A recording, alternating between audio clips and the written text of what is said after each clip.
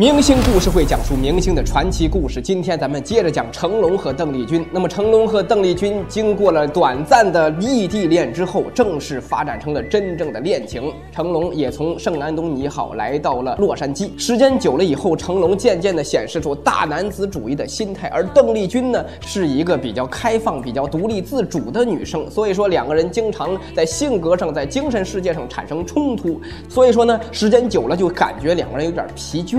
这就是恋爱阶段的瓶颈期，两个人都看到对方的缺点毛病了，没有之前那么好了。其实这个时间一过，就立马就好了。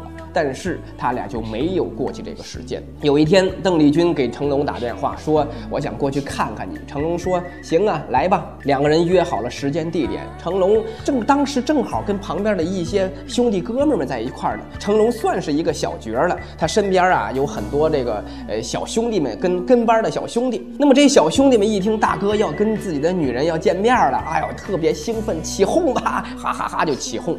起哄完了之后说：“我们也没见过嫂子，你。”你明天带我们一块儿去呗，我们也见见见见嫂子。成龙说行啊，明天带你们一块儿去。结果第二天他们约好的地点见面之后，邓丽君。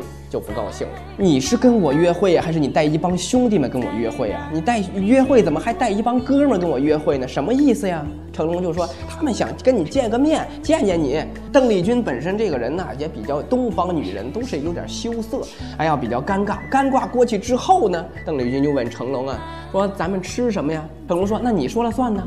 邓丽君说咱们再去上回那法国餐厅吃西餐吧，特别好，特别有气氛，特别浪漫。成龙说：“行啊，走啊，兄弟们都一块儿去。”邓丽君这时候真急了：“怎么你刚才你们这帮人见了我就行了呗？你怎么还带他们一块儿跟我共度晚餐？法国餐厅很浪漫的好吗？你带一帮兄弟们跟我一块儿浪漫什么什么意思呀？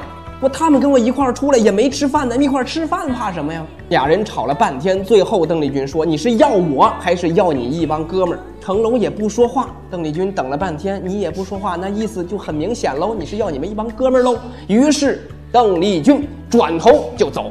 真走了，越走越远，真生气了，自己就也着急，就喊了一句，但也不知道邓丽君生气呀，还是远了没听见，他就没回头，就这样气呼呼的走了。成龙带着一帮傻哥们儿一块儿灰溜溜的回家了。成龙越想越觉得不对劲，人家是来看我，我怎么又把人气走了？你说，成龙那个时候啊，正好是二十五六岁，二十五六岁的男小伙子，阳刚之气正盛呢，而且是意气用事，最不肯低头认错。成龙也是一样，到半夜才给邓丽君打电话说：“今天是我不好，不要生我的气了。”邓丽君其实还在气头上，你跟他们谈恋爱吧，跟他们过去吧，你找他们嫁给你吧，就把电话挂了。成龙当时也没多想，说过两天我再找她去吧。谁知道那是邓丽君最后一次跟成龙约会，因为成龙过几天给他打电话的时候，那边人说了，邓丽君已经走了，美国洛杉矶的学业结束了，自己只身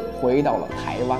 就这样，成龙还在美国再接着拍戏，又拍了好多年，两个人的恋情就这样阴差阳错、劳燕分飞的分别了。反正就非常的遗憾。如果那时候邓丽君能跟成龙在一块儿的话，可能他们的日子将会改写。那么历史不容假设，我们在这里想象，一切想象都是意淫。你觉得成龙是渣男吗？你觉得成龙和邓丽君的分手是因为他的大男子主义吗？欢迎评论加关注，明星故事会讲述明星的传奇故事。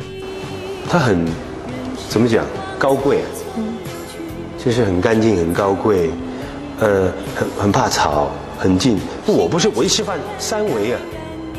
那三位他就看我，有时候我的兄弟那种讲话的，啊，那个什么，啊，啊，吵了个吵，吵吵了个吵，他很吵的那种，你能不能？那，但是林凤娇呢，他就会跟他们讲，哇，哈哈哈！所以兄弟们跟我讲，哎，邓丽君不好，这个这个一定是大嫂，这一个，哇，她多好啊，每天在讲的那个，反正我跟邓丽君一起在一起的所有兄弟都走开的，也不倒茶，也不管他，那，但那个一来，那个那个林凤娇一来呢，所有人啊，大嫂好，啊，又送饼干了，就是变成这样子。